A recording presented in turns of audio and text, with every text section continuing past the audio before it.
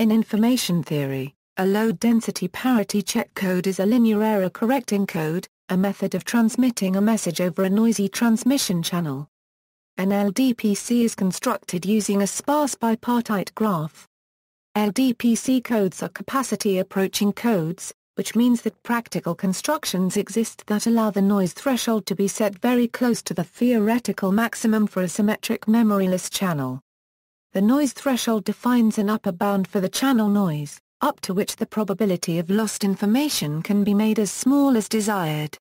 Using iterative belief propagation techniques, LDPC codes can be decoded in time linear to their block length. LDPC codes are finding increasing use in applications requiring reliable and highly efficient information transfer over bandwidth or return channel-constrained links in the presence of corrupting noise. Implementation of LDPC codes has lagged behind that of other codes, notably turbo codes. The fundamental patent for turbo codes expired on August 29, 2013. US 5446747 LDPC codes are also known as Gallager codes, in honor of Robert G. Gallager, who developed the LDPC concept in his doctoral dissertation at the Massachusetts Institute of Technology in 1960. History, impractical to implement when first developed by Gallager in 1963, LDPC codes were forgotten until his work was rediscovered in 1996. Turbo codes, another class of capacity-approaching codes discovered in 1993, became the coding scheme of choice in the late 1990s, used for applications such as the Deep Space Network and satellite communications.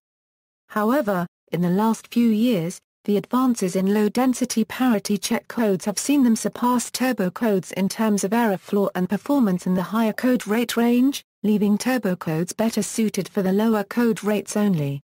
Applications in 2003, an irregular repeat accumulates style LDPC code beat 6 turbo codes to become the error-correcting code in the new DVB-S2 standard for the satellite transmission of digital television.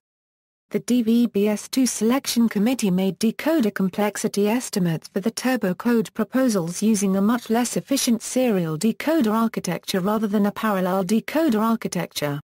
This forced the turbo code proposals to use frame sizes on the order of one-half the frame size of the LDPC proposals. In 2008, LDPC beat convolutional turbo codes as the forward error correction system for the ITU-T-GHN standard. GHN chose LDPC codes over turbo codes because of their lower decoding complexity and because the proposed turbo codes exhibited a significant error floor at the desired range of operation. LDPC codes are also used for 10G-based Ethernet, which sends data at 10 gigabits per second over twisted pair cables. As of 2009, LDPC codes are also part of the Wi-Fi 802.11 standard as an optional part of 802.11n and 802.11ac, in the high-throughput PHY specification. Some OFDM systems add an additional outer error correction that fixes the occasional errors that get past the LDPC correction inner code even at low bit error rates. For example, the Reed-Solomon code with LDPC-coded modulation uses a Reed-Solomon outer code. The DVB-S2, the DVB-T2 and the DVB-C2 standards all use a BCH code outer code to mop up residual errors after LDPC decoding. Operational use LDPC codes functionally are defined by a sparse parity check matrix. This sparse matrix is often randomly generated, subject to the sparsity constraint so Euro LDPC code construction is discussed later. These codes were first designed by Robert Gallager in 1962. Below is a graph fragment of an example LDPC code using Forney's factor graph notation. In this graph, n variable nodes in the top of the graph are connected to constraint nodes in the bottom of the graph. This is a popular way of graphically representing an LDPC code.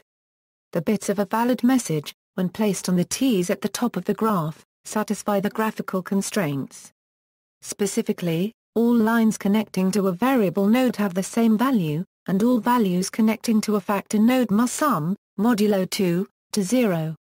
Ignoring any lines going out of the picture, there are eight possible 6-bit strings corresponding to valid code words. This LDPC code fragment represents a 3-bit message encoded as 6 bits. Redundancy is used, here, to increase the chance of recovering from channel errors. This is a linear code, with n equals 6 and k equals 3. Once again ignoring lines going out of the picture, the parity check matrix representing this graph fragment is. In this matrix, each row represents one of the three parity check constraints, while each column represents one of the six bits in the received code word. In this example, the eight code words can be obtained by putting the parity check matrix H into this form through basic row operations in GF. 2. Step 1, H. Step 2, row 1 is added to row 3. Step 3, row 2 and 3 are swapped. Step 4, row 1 is added to row 3. From this, the generator matrix G can be obtained as or specifically. Finally, by multiplying all eight possible 3-bit strings by G, all eight valid code words are obtained. For example, the code word for the bit string 101 is obtained by. As a check, the row space of G is orthogonal to H such that. Example encoder, Figure 1 illustrates the functional components of most LDPC encoders. During the encoding of a frame, the input data bits are repeated and distributed to a set of constituent encoders. The constituent encoders are typically accumulators and each accumulator is used to generate a parity symbol. A single copy of the original data is transmitted with the parity bits to make up the code symbols. The S bits from each constituent encoder are discarded. The parity bit may be used within another constituent code. In an example using the DVB-S2 rate 2 thirds code the encoded block size is 64,800 symbols with 43,200 data bits and 21,600 parity bits. Each constituent code encodes 16 data bits except for the first parity bit which encodes 8 data bits. The first 4680 data bits are repeated 13 times, while the remaining data bits are used in three parity codes. For comparison, classic turbo codes typically use two constituent codes configured in parallel, each of which encodes the entire input block of data bits. These constituent encoders are recursive convolutional codes of moderate depth that are separated by a code interleaver which interleaves one copy of the frame. The LDPC code, in contrast, uses many low-depth constituent codes in parallel, each of which encode only a small portion of the input frame. The many constituent codes can be viewed as many low-depth convolutional codes that are connected via the repeat and distribute operations. The repeat and distribute operations perform the function of the interleaver in the turbo code. The ability to more precisely manage the connections of the various constituent codes and the level of redundancy for each input bit give more flexibility in the design of LDPC codes, which can lead to better performance than turbo codes in some instances. Turbo codes still seem to perform better than LDPCs at low code rates, or at least the design of well-performing low-rate codes is easier for turbo codes. As a practical matter, the hardware that forms the accumulators is reused during the encoding process. That is, once a first set of parity bits are generated and the parity bit stored, the same accumulator hardware is used to generate a next set of parity bits. Decoding, as with other codes, the maximum likelihood decoding of an LDPC code on the binary symmetric channel is an NP-complete problem. Performing optimal decoding for a NP-complete code of any useful size is not practical. However, suboptimal techniques based on iterative belief propagation decoding give excellent results and can be practically implemented.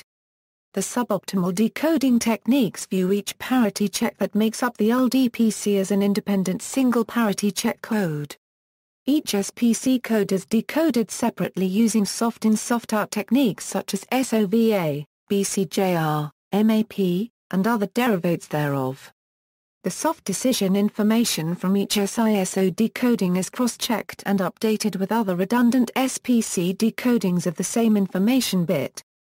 Each SPC code is then decoded again using the updated soft decision information. This process is iterated until a valid code word is achieved or decoding is exhausted. This type of decoding is often referred to as sum product decoding. The decoding of the SPC codes is often referred to as the check node processing, and the cross-checking of the variables is often referred to as the variable node processing. In a practical LDPC decoder implementation, sets of SPC codes are decoded in parallel to increase throughput. In contrast, belief propagation on the binary erasure channel is particularly simple where it consists of iterative constraint satisfaction. For example, consider that the valid code word, 101011, from the example above, is transmitted across a binary erasure channel and received with the first and fourth bit erased to yield 01 11. Since the transmitted message must have satisfied the code constraints, the message can be represented by writing the received message on the top of the factor graph. In this example, the first bit cannot yet be recovered, because all of the constraints connected to it have more than one unknown bit. In order to proceed with decoding the message, constraints connecting to only one of the erased bits must be identified. In this example, only the second constraint suffices. Examining the second constraint, the fourth bit must have been zero, since only a zero in that position would satisfy the constraint. This procedure is then iterated. The new value for the fourth bit can now be used in conjunction with the first constraint to recover the first bit as seen below. This means that the first bit must be a 1 to satisfy the leftmost constraint. Thus, the message can be decoded iteratively. For other channel models, the messages passed between the variable nodes and check nodes are real numbers, which express probabilities and likelihoods of belief. This result can be validated by multiplying the corrected code word by the parity check matrix H. Because the outcome Z of this operation is the 3 uh, 1 0 vector, the resulting code word R is successfully validated. While illustrative, this erasure example does not show the use of soft decision decoding or soft decision message passing, which is used in virtually all commercial LDPC decoders. Equals updating node information equals, in recent years, there has also been a great deal of work spent studying the effects of alternative schedules for variable node and constrain node update. The original technique that was used for decoding LDPC codes was known as flooding. This type of update required that, before updating a variable node, all constrain nodes needed to be updated and vice versa. In later work by Vila Casado al., alternative update techniques were studied, in which variable nodes are updated with the newest available check node information. The intuition behind these algorithms is that variable nodes whose values vary the most are the ones that need to be updated first. Highly reliable nodes, whose log likelihood ratio magnitude is large and does not change significantly from one update to the next, do not require updates with the same frequency as other nodes, whose sign and magnitude fluctuate more widely. These scheduling algorithms show greater speed of convergence and lower error floors than those that use flooding. These lower error floors are achieved by the ability of the informed dynamic scheduling algorithm to overcome trapping sets of near-code words. When non-flooding scheduling algorithms are used, an alternative definition of iteration is used. For an LDPC code of rate kn, a full iteration occurs when n variable and nak constrain nodes have been updated, no matter the order in which they were updated. Equals lookup table decoding equals, it is possible to decode LDPC codes on a relatively low-power microprocessor by the use of lookup tables. While codes such as the LDPC are generally implemented on high-power processors, with long block lengths, there are also applications which use lower power processors and short block lengths. Therefore, it is possible to pre-calculate the output bit based upon predetermined input bits. A table is generated which contains n entries, and contains all possible entries for different input states. As a bit is input, it is then added to a FIFO register, and the value of the FIFO register is then used to look up in the table the relevant output from the pre-calculated values. By this method, very high iterations can be used, with little processor overhead, the only cost being that of the memory for the lookup table, such that LDPC decoding is possible even on a 4.0 MHz PIC chip. Code construction, for large block sizes, LDPC codes are commonly constructed by first studying the behavior of decoders. As the block size tends to infinity, LDPC decoders can be shown to have a noise threshold below which decoding is reliably achieved, and above which decoding is not achieved, colloquially referred to as the cliff effect. This threshold can be optimized by finding the best proportion of arcs from check nodes and arcs from variable nodes. An approximate graphical approach to visualizing this threshold is an exit chart. The construction of a specific LDPC code after this optimization falls into two main types of techniques, pseudo-random approaches, combinatorial approaches. Construction by a pseudo-random approach builds on theoretical results that, for large block size, a random construction gives good decoding performance. In general, pseudo-random codes have complex encoders, but pseudo-random codes with the best decoders can have simple encoders. Various constraints are often applied to help ensure that the desired properties expected at the theoretical limit of infinite block size occur at a finite block size. Combinatorial approaches can be used to optimize the properties of small block size LDPC codes or to create codes with simple encoders. Some LDPC codes are based on Reader Euro Solomon codes, such as the RS-LDPC code used in the 10 gigabit Ethernet standard.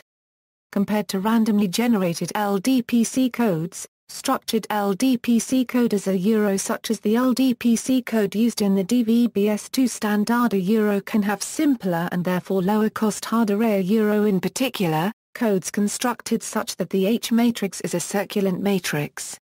Yet another way of constructing LDPC codes is to use finite geometries. This method was proposed by Waiku al. in 2001. See also equals people equals Robert G. Gallager, Richard Hamming, Claude Shannon, David J. C. MacKay, Irving S. Reed. Equals theory equals belief propagation, graph theory, Hamming code, linear code, sparse graph code, expander code.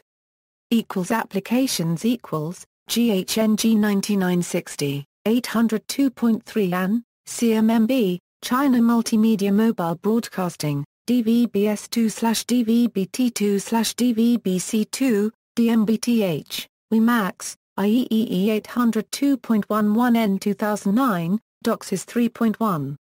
Equals other capacity approaching codes equals, turbo codes, serial concatenated convolutional codes, online codes, fountain codes, LT codes, raptor codes, repeat accumulate codes, tornado codes, polar codes. References External links, the online textbook, Information Theory, Inference, and Learning Algorithms, by David J. C. MacKay, discusses LDPC codes in Chapter 47.